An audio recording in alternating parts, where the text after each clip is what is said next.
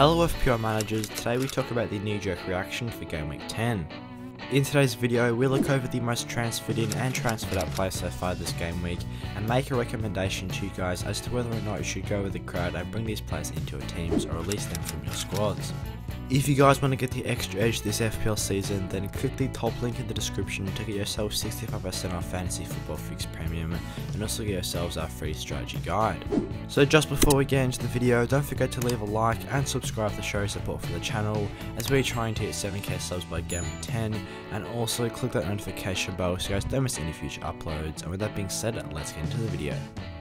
Beginning with the most transferred in players so far this game week, starting off with Ben Chilwell. Chilwell was coming off 12 points in game week 9 as he got himself a goal and a clean sheet against Norwich in Chelsea's 7-0 domination. This has meant that Chilwell has started the last three consecutive games for Chelsea, as he does seem to be referred over Alonso recently. So at £5.8 million, if Ben Chilwell can keep getting minutes for Chelsea, he definitely will be a strong defensive option as he has been producing some great underlying numbers so far. In his last three games for Chelsea, he has got himself 35 FPL points, as he is providing great threat at both ends of the pitch. Chelsea had a very high expected clean sheets figure for this game against Norwich, which was sitting at 0.72, and Chilwell had some decent underlying numbers from an attacking standpoint as well, as he had two shots, one of which was on target, and also attempted one assist. So definitely after getting such a big haul in Week 9, and with Chelsea's good fixtures of Newcastle and Burnley in Weeks 10 and 11, he is definitely one for consideration. Moving on to Chilwell's Chelsea teammate in Mason Mount, he is the top scoring player in Week 9 so far, getting himself 24 FPL points. This came about as he produced 3 goals and 1 assist, as well as maximum bonus points in Chelsea's 7-0 win. This was actually his first start for Chelsea since Week 3 this season,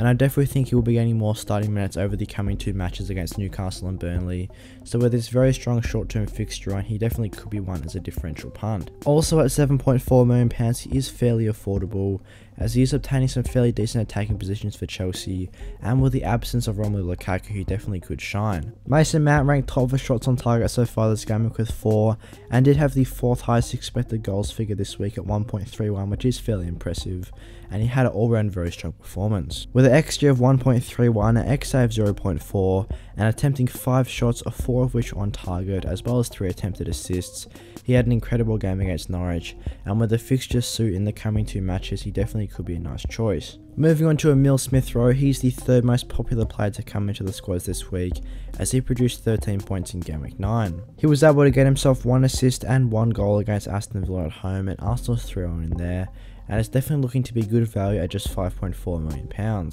Smith Rowe had some decent underlying stats this week with an XG of 0.24, XA of 0.17, attempting two shots, one of which was on target, and also having four attempted assists as well. He definitely has hard how he's got good goal and assist potential. Arsenal do have a mixed bag of fixtures to come up though, as they have Leicester, Watford, Liverpool and Newcastle as the next four opponents, so I definitely can see why he could be tempting for that Game Week 11 match against Watford at home, as well as Game Week 13 against Newcastle at home. But there isn't really too many reasons why you couldn't pick him up at just 5.4 million, as he is a very good value option. Looking towards the most transferred players this week, beginning with Romelu Lukaku, he was obviously out with an injury in Game Week 9, and that is why he has recorded 0 points. This has already seen over 150,000 managers move him on, as according to the FPL website he still has an ankle injury with an unknown return date. So this of course will mean that he's going to miss most likely the next two matches of Newcastle and Burnley, before Chelsea's fixtures have a turn for the worse but they face Leicester, Manchester United, Watford and West Ham as their next four. Also Lukaku hasn't produced returns since game week 4,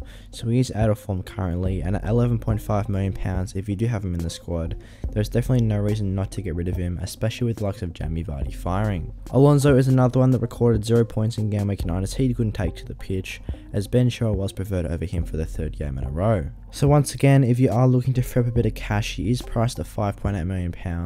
and it could be worthwhile going for a safer option in that Chelsea defence, such as the likes of Antonio Rudiger, who is more likely to get minutes if you do want to capitalise on the nice short-term fixtures of Newcastle and Burnley. And to cap off the transfers out, Abdoulaye Doucouré is the third most popular player to depart the squads, as he did pick up a foot injury. This did see him miss the entirety of game 9 against Watford at home, and he still has an unknown return date according to the FPL website, so I can see why it's a good choice to move him on, as at 5.6 million pounds there are definitely better options. You could go for the likes of Demarai Gray or Townsend if you are looking for those Everton midfielders, or even go up to the likes of any 6 to 7 million pound midfielder.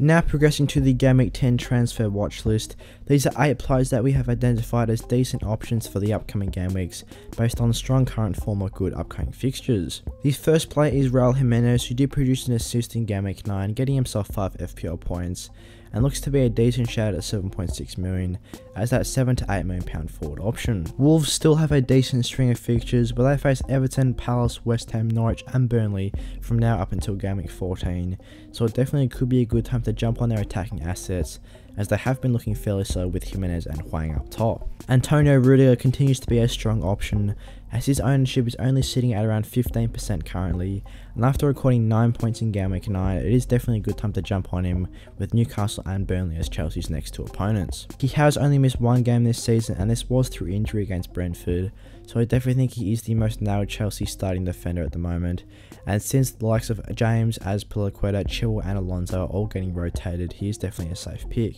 Phil Foden is also another one worth considering after getting himself 18 points in Game Week 9 as he recorded 2 goals and 1 assist. In his last 4 starts for Manchester City, he has got himself 2 goals and 2 assists as has been great form for them, and Manchester City do face Crystal Palace at home in Game Week 10 which is another very good fixture. It looks to be that he should keep getting consistent starting minutes, and with these nice upcoming fixtures for City of Palace, United, Everton and West Ham as the next four, it definitely could be a good time to jump on him as he looks to be a nice pick at 8.1 million.